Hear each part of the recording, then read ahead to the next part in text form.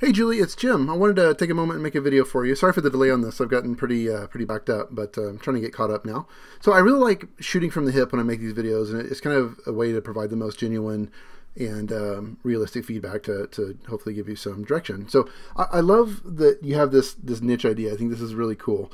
Um, yeah. So okay. So when I land on your site, when, when anybody lands on your site, you have to, to be able to tell them very quickly what it is that you do so they can make a decision of if it's for them. So if you look at your Google Analytics and look at your bounce rate, meaning how quickly people leave your site, if they're leaving within just a few seconds, you're either pulling in the wrong traffic, so in other words, people that have no interest or need in baby diapers, or the, then thus they leave, or you're maybe pulling in the right traffic, but you're not conveying to them in a really easy way or, or quick way what it is that you do. They become impatient and just leave. All right, so, so definitely take a look at that and, and just see how your uh, your bounce rate looks in your Google Analytics. Okay, so let me let me pause this for a second, kind of consume more of your site here. And I have to say, Julie, I'm I'm not really clear on what you do, and I, I have even cheated a little bit because I read what you posted in Facebook before coming to your site. But this is my first time on your on your site, and I have several kiddos, and I, have definitely you know used diapers uh, for my kids in the past. But um, so when I'm on your site, I'm like, well, okay, so it's like sample packs of diapers Try all the diapers you want, more than 20 brands. So what I would love to see is a copy of like so diaper dabbler um, diaper variety packs. I mean that that's good, but I, I guess I just I don't fully understand what it is that you do and what the point is. That, that's just it. So I, I, get that you send diaper packs or whatever variety packs. What's the point? Am I trying to experiment with different diapers to see what I like the best, what works the best. Like, so what is the point of your brand of your business? And and the point I'm trying to make to you is that you got to make that clear because I'm not really understanding. Um, but obviously you understand and you have a point, so you've got to convey that to me to all the visitors to your site to explain what you do. Uh, design wise, I mean, I, I think this this design is fun and playful. I, I really am a big fan, though, of a little bit of different setup design wise. So if you go to my blog, blog.groovejar.com, click on this first link here, how to boost your conversion rate with a killer first impression. I do a deep dive in this article about how to make a really strong first impression. I, I, go through some examples that are really good and examples that are really bad. If you look right here, this is an example of a site that is before the fold, meaning before I scroll.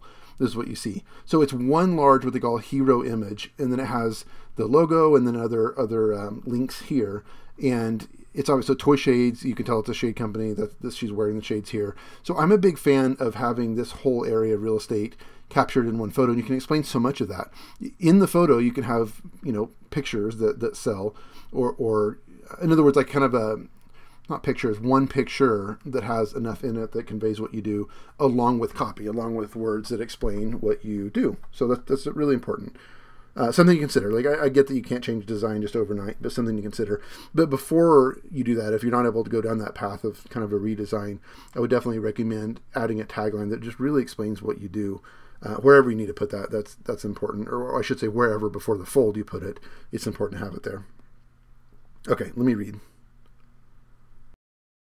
Interesting, Julie. So we just kind of answered the whole dilemma here. So you answer what you do right here, but I didn't even read it. I didn't notice it. And I'm an example of, of any browser, most people won't because they don't want to read all this. People generally have short attention spans, especially on the web, and they don't want to read stuff. So you've explained what it is that you do here, but that's just too difficult. And I know that sounds ridiculous, but people just won't read.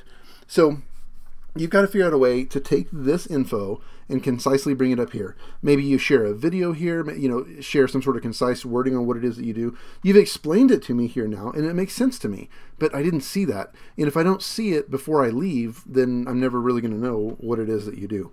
Uh, and also, these images are great and make more sense as well. So like, oh, okay, so that this makes more sense than this to me. So I just, I'm a, I'm a fan of that. So let's look at the specific product page. This is really important.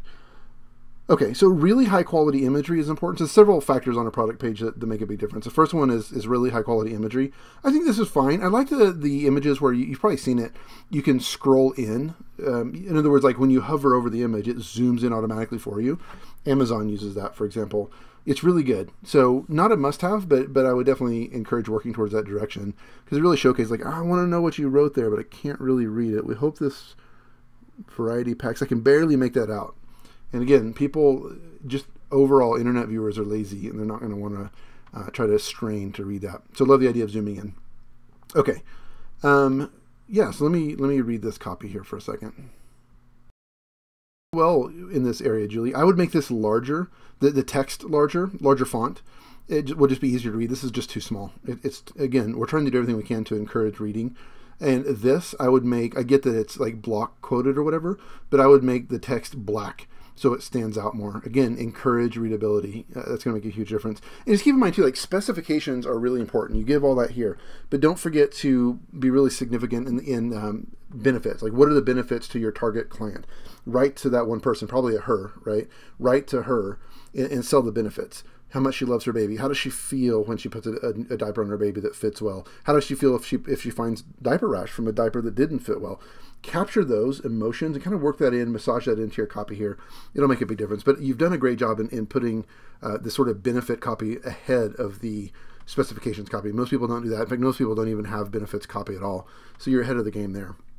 Okay, lastly, it's critical to have reviews um, on your page. Like if you think about it, when I go to Amazon, if a, if a product doesn't have reviews or if they have uh, poor reviews, I just don't buy it. And most people are like that. So I get that it takes time to get reviews, but if you can incentivize your clients to leave reviews for you in any way possible, that's going to make a really huge difference in your conversions. So, so having reviews on each of the product pages is is critical, super super important. Um, and this is this a review here? Yeah, that's good. That is. I like that the reviews that kind of look obviously like reviews, star ratings and that sort of thing. Uh, you've seen that. I'm sure there's there's um, you know a lot of different ways you can implement that, but I'm a big fan of those. Um, okay, so while we're at it, are you on Instagram? It looks like uh, looks like that links just back to your page if you look at the lower left of my screen. If you're not on Instagram, I definitely recommend being marketing to these moms, right? There's lots of fun baby pictures you can send. I mean, think about all the creative things you could do on Instagram. There's also an app that I don't remember what it's called. You can search the Shopify App Store for it, but it allows you to turn your Instagram feed into a sales platform. Like if you, this is just an example site, but you can see how with this watch, uh, they've have the ability to add it to the cart through Instagram. So that's pretty sweet. So definitely focusing on Instagram would be uh, a really productive thing for you. Okay, let's go to your about page. Contact us. Did I miss about us? Okay. So I'm really a huge fan, Julie, of putting a picture of yourself here. People connect with people. They buy from people, not from brands, not from companies. And if you have an image of yourself here, especially a really a good quality, smiling, happy photo, um, it conveys trust, credibility. It conveys that you're going to stand behind your brand. So that's, that's really, really important. So I suggest that you do that here. Make the, the text a little bit bigger. It's a little bit difficult to read again. Small detail, but I'm telling you, it makes a big difference um, in readability and people's willingness to read it. And just, just telling your, your story here is good. Um, introducing yourself personally. But yeah, this is good. I, I like what you're what you're saying here. It's good information. I would just make that personal connection. That's it. Great that you have a blog. That's good for SEO. I like that idea. Perfect. Okay, so one last thing on your homepage, if you think about it, the most valuable thing that people bring to you is their attention. That's the most valuable asset that you have, right? They come to your site, you have their attention. If they leave and you don't have an email address from them, you have no way of following up with them. You have no way of working them down your sales funnel, and they're just gone. So if you collect email addresses, you have a way to capture their attention again and, and work to convert them from just a lead to an actual paying customer. So I highly suggest you set up an email collection uh, tool, a pop up. My company is the one I showed you on the blog. It's groovejar.com. And we have a pop up called Groove Urgent that converts really, really well. It's a countdown based pop up. And we have a free trial, and then it's 39 bucks a month after that for all of the apps that we have, and we have a variety and they're paired together.